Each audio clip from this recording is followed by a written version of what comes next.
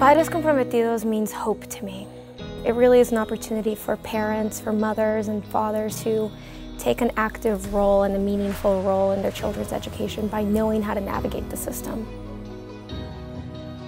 Padres Comprometidos is NCLR's stellar parent engagement program. It's about uh, building meaningful relationships between partnerships, schools, and families. That brings parents together to learn about the school system and to discover the role that we play in our kids' education to make sure not only that they succeed today, but that they graduate and they become the adults that we parents want our children to become one day.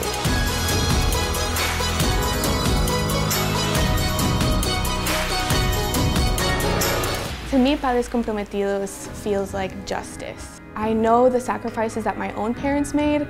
I know how deeply, deeply committed they were to uprooting their lives for me. Doing the work that I do here with Padres Comprometidos feels like justice. Like I can finally look back and say, here, mommy and papi, like this is what I'm doing for you. I'm so passionate about the work and so passionate about parents having the opportunities to reclaim their role. I'm really thankful because my son, before I started getting involved in Padres Comprometidos, he didn't have any vision of going to college. After I got involved in Padres Comprometidos, he heard a lot of the good things that you can have going to the university. And now he's 19 and he finished his first year of college at Trevecca. I'm really thankful to be part.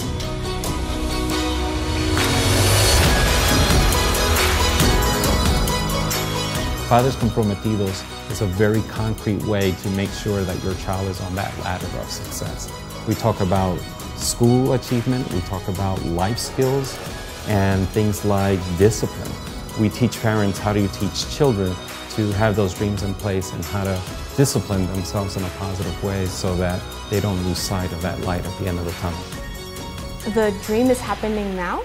The dream of having your child be successful, graduate from high school, from college, find their, their calling, it's happening now and Padres Comprometidos lets you see that.